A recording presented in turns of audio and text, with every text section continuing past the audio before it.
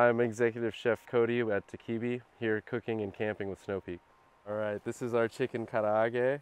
Uh, this is something that's always been on the menu, but it's very simple. We have uh, shio-koji marinated uh, chicken uh, thigh that we've cut the cut basically uh, to be boneless, but we leave the skin on.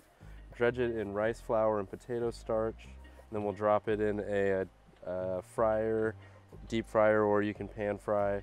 Roughly 375 degrees is ideal, um, and we can do that for about three minutes. And then we'll pull it out at the three minute mark, give it about a minute rest.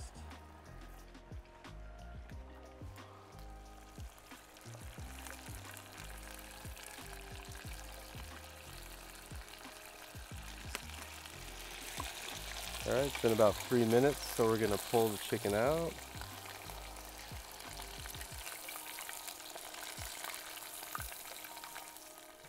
Quick seasoning of some salt.